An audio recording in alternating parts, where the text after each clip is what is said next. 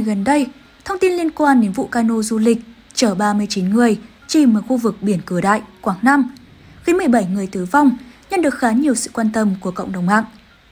Có thể nói đây là vụ tai nạn đặc biệt nghiêm trọng, đang được cơ quan chức năng điều tra để sớm đưa ra nguyên nhân để đảm bảo an toàn cho tuyến nội thủy quan trọng này.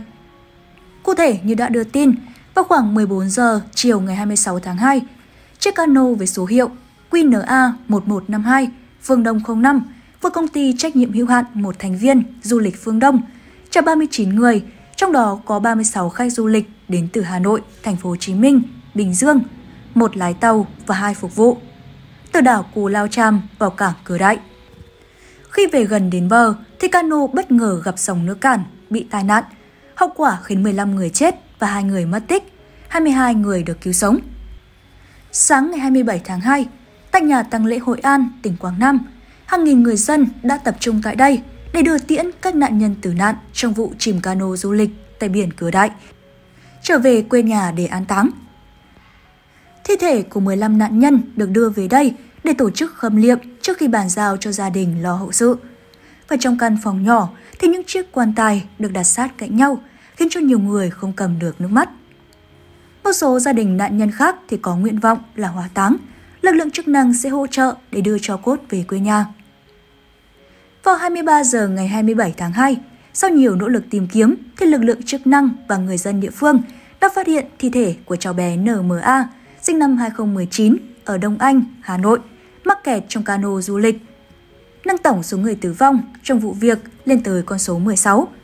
Và được biết, hiện vẫn còn một bé trai sinh năm 2019 chưa được tìm thấy.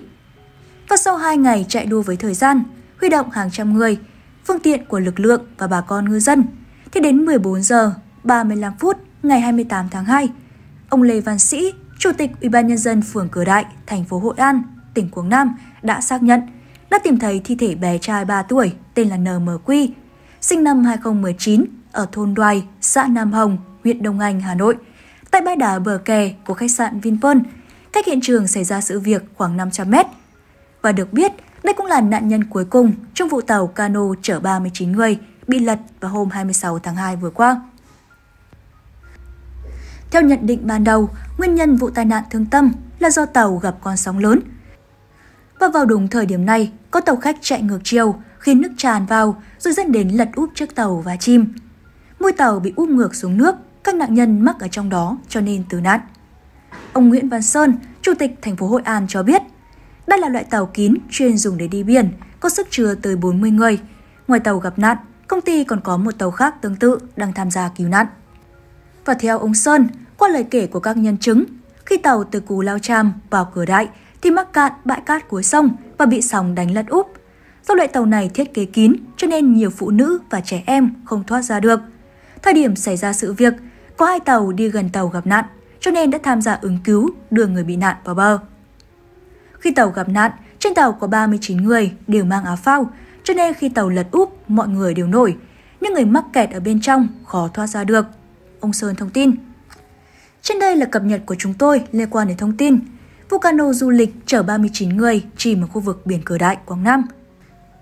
Và cảm ơn các bạn đã theo dõi hết video này. Xin chào và hẹn gặp lại các bạn trong video ngày mai nhé!